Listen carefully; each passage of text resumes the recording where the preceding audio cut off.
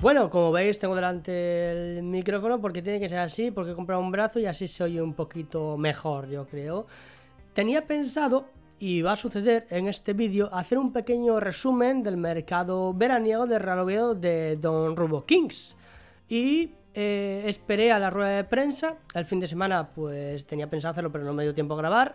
Hoy juega Real Oviedo, hoy lo grabaré y hoy lo subiré supuestamente y tengo también otro vídeo preparado para subir esta semana. Así que vamos a ir poco a poco, pero vamos a ir analizando un poco el resumen, todos los fichajes, lo que pasó en cada fichaje, un poco en general lo que me acuerde y lo que sucedió, lo que pasó y cómo se fueron desarrollando los fichajes y el mercado de verano en general. ¿Os acordáis de quién fue el primer fichaje? Bien, el primer fichaje fue Pierre Cornut, un viejo conocido de aquí, del Real Oviedo, jugó en el Real Oviedo Vetusta, y yo sinceramente no me lo esperaba. Yo creo que nadie se lo esperaba en general. Durante esa semana salieron algunos que otros rumores, pero Pierre Cornut fue de repente, ¡pum! Pierre Cornut fue jugador, es jugador oficial del Real Oviedo. Y así pasó con algún que otro fichaje. Como por ejemplo Dani Calvo, me acuerdo que fue así, ¿no? Que de repente un lunes estaba todo súper avanzado y el martes por la mañana se anunció Pierre Cornut fue algo parecido. Un tipo que estuvo aquí, un tipo que jugó también la última temporada en Sabadell, un tipo que sinceramente cumplió muy bien en segunda división, que respecto a números era de lo mejorcito y se decantó por el Real Oviedo. Veremos cómo sale este fichaje, pero a priori es un buen fichaje. Ya lo hemos visto unos cuantos partidos, pero a priori tiene todavía cosinas que demostrar, que mejorar, pero para mí es buen fichaje. Por este orden fueron los siguientes en llegar: Mateus Ayas, David Costas y Jirka. El primero de todos, Mateus Ayas, un tipo que se fue a Estados Unidos, un tipo que no jugó nada y un tipo que le quiere recuperar tanto Rubén Reyes como Cuco Ciganda. Ha rimado y todo, puede ser que haya rimado.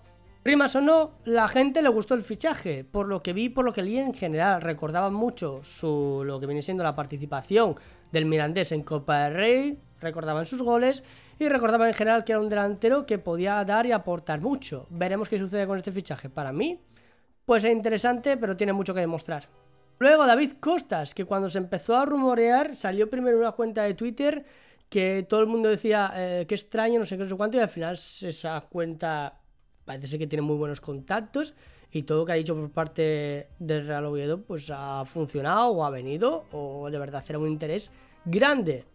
Al final David Costas tardó cuestión de una semana y media o dos más o menos lo que rucó la cabeza a mucha gente es cuando se desvincula Costas, cuando se desvincula Costas, y no tardó tanto como Luismi.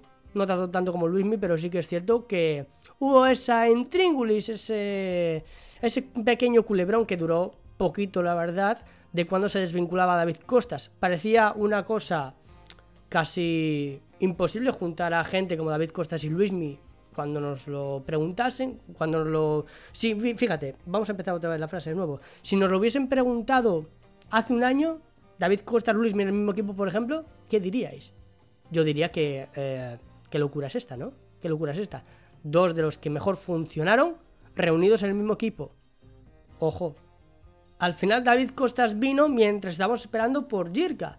Jirka, aquel gazapo que cometió la TPA Jirka del Estrella Galicia, del Estrella Roja, tenía muy apalabrada su cesión al Oviedo. También lo tenía apalabrado David Costas con Arnau incluso. Y solamente faltaba matizarlo un poco por parte de Rubén Reyes y así fue. Al final Jirka tuvimos que esperar un poquito más porque Rubén Reyes le rucó la cabeza, le rucó la cabeza no sé qué, no sé cuánto y conseguimos a Jirka en propiedad. Esta decisión era hecha, pero Rubén Reyes quería cumplir su objetivo, su palabra de conseguir los máximos posibles en propiedad y crear valor en el Real Oviedo. ¿Con quién seguimos ahora? Pues con Dani Calvo, que lo que dije en un principio surgió de la nada, mejor dicho, esa opción apareció cuando arriba se iba a ir al Aris de Salónica y pues daba todo apalabrado para que viniese Dani Calvo cuando arriba se fue a Grecia a negociar. Lo que no se esperaba Rubén Reyes, ni mucho menos, es que Arribas volviera Arribas volviera y con nada, ni con contrato, ni con nada, porque no le garantizaban el pago. Entonces nos quedamos con Arribas y Dani Calvo, como ya estaba todo apalabrado, dijo Rubén Reyes, me parece una buena oportunidad, así que para adelante como es de Alicante. Un lunes se dijo que estaba súper avanzado las negociaciones Y el martes al siguiente día por la mañana, Dani Calvo, jugador oficial del Real Oviedo. Un tío que había jugado veintitantos partidos titular con el Elche en primera división. Un tipo que ha dicho en rueda de prensa que puede dar mucho más y que está evolucionando poco a poco y que está cogiendo ritmo. Normal, un tipo de metro 90 y algo, creo recordar que medía, pues es normal que vaya pillando poco a poco ritmo, menos, o sea, menos rápido que el resto de, de compañeros. Y pues así fue un poco el fichaje de Dani Calvo. De un día para otro se oficializó. Luego Johnny Montiel duró un par de días, tres, cuatro, no muchos, porque la gente de, Vallecas ya le ponía aquí en Oviedo, de rollo Onda Cero Vallecas, y periodistas importantes con reputación de allí ya decían que Johnny Montiel iba a ser jugador de Real Oviedo.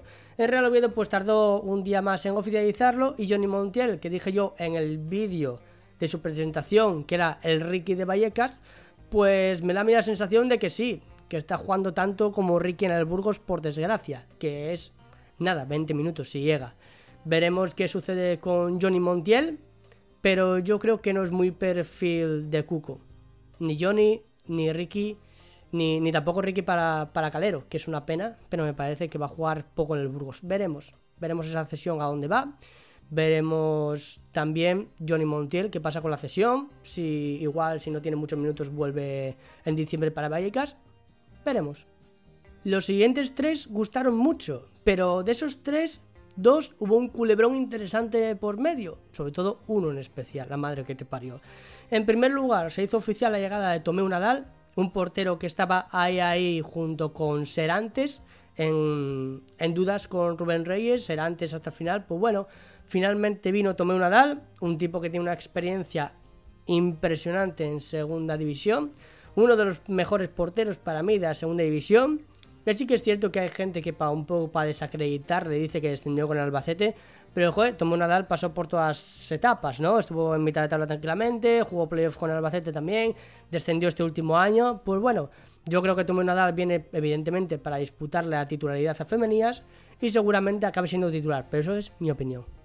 Los de los culebrones. Vamos a ver. En primer lugar, el que menos duró el culebrón, Borja Bastón, que si estaba esperando por equipos, que si la gente decía que con el tema CVC iba a aprovechar para ese jueves cuando se aprobase, pues ver qué equipo le ofrecía más, etc.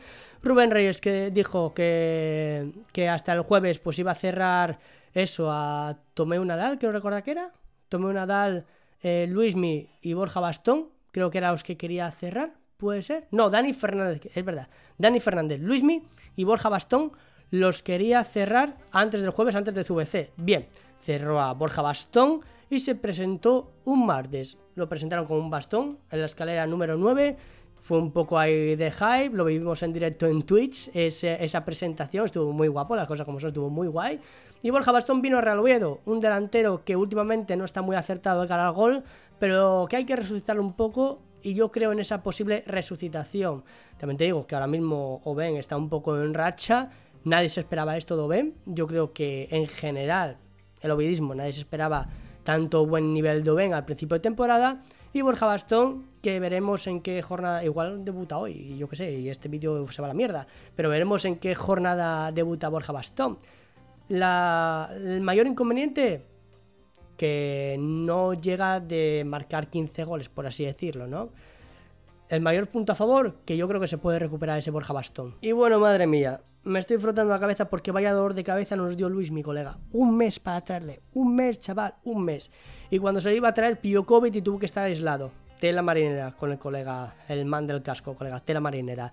Al final, después del COVID, eh, el confinamiento era de una semana, duró hasta un lunes y el mismo lunes se anunció a Luismi por parte de Real Oviedo. Oficialización. Luismi, jugador de Real Oviedo. Y yo que me alegro.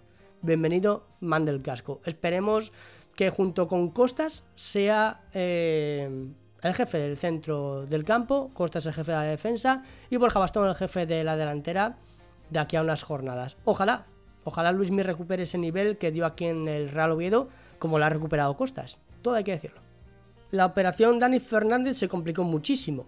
Tanto que le ofrecíamos al Burgos 50.000 en dos tramos y el Burgos dijo que nada, que 100.000 o nada. Entonces, Dani Fernández creo que se quedó en Burgos, le perdí la pista desde que el Real Oviedo dijo, pues para ti, y oficializó a Carlos Isaac un lateral.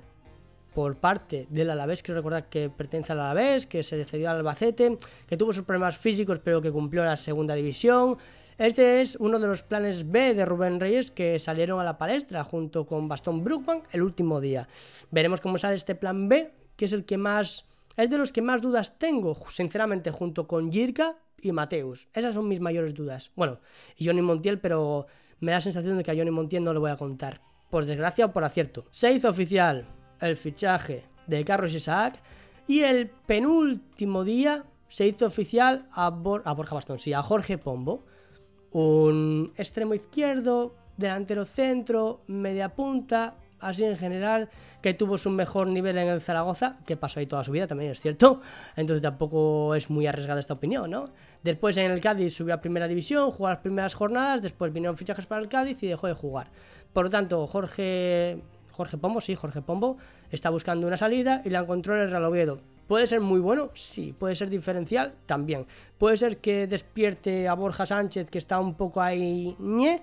También. Cosa que lo veo muy positivo. Encontrar, pues eso, básicamente competencia para esa banda izquierda como la tuvo con Nahuel. Y ya por último, el último día, Munamix, que he dicho penúltimo día, pero no, fue el último día cuando se hizo oficial a Pombo por la mañana.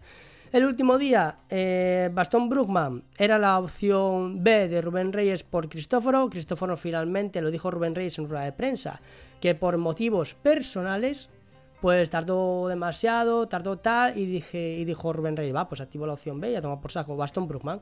En prácticamente dos días, dijo él, se enamoró del Oviedo, por así decirlo, eh, quiso venir aquí, eh, se mostró mucho interés, le gustó el proyecto, etc. etc.